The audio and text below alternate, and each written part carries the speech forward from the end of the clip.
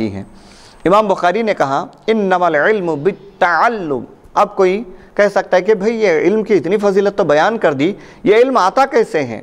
تو امام بخاری نے فرمایا، انما العلم بالتعلم۔ یہ حدیث کے الفاظ نہیں ہیں، امام بخاری کے اپنے الفاظ ہیں۔ علم صرف تعلم یعنی سیکھنے سے حاصل ہوتا ہے۔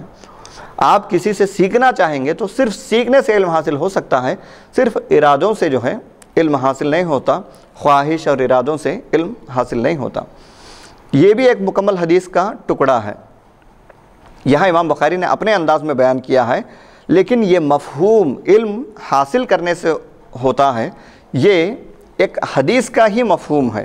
حضرت معاویہ بیان کرتے ہیں کہ میں نے رسول اللہ صلی اللہ علیہ وسلم کو یہ کہتے ہوئے، یہ فرماتے ہوئے سنا ہے کہ علم صرف تعلم سے حاصل ہوتا ہے۔ الفاظ میں تھوڑی سی تبدیلی ہے، مفہوم وہی ہے۔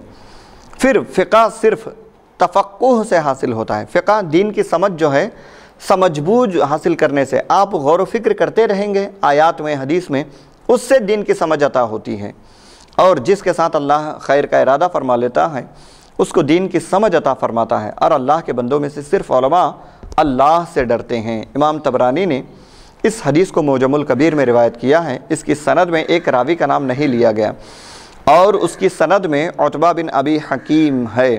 اس کی ابو حتیم اور ابو زرعہ اور ابن حبان نے توثیق کی ہے۔ ایک جماعت نے اس کو ضعیف کہا ہے۔ اس وضاحت کی ضرورت یہ ہے کہ اس حدیث کی وضاحت کر دی گئی کہ اس میں ایک راوی کے متعلق سے علماء کا اختلاف ہے کہ وہ ان اس راوی کی روایت ضعیف ہے، بعض نے کہا کہ اس میں کوئی ضعف نہیں ہے۔ بہر کہ روایت سے ہٹ کر یہ حدیث حدیث کا مفہوم دوسری کئی روایتوں سے اس کو تقویت ملتی ہے، یہ بالکل قابل قبول روایت ہے۔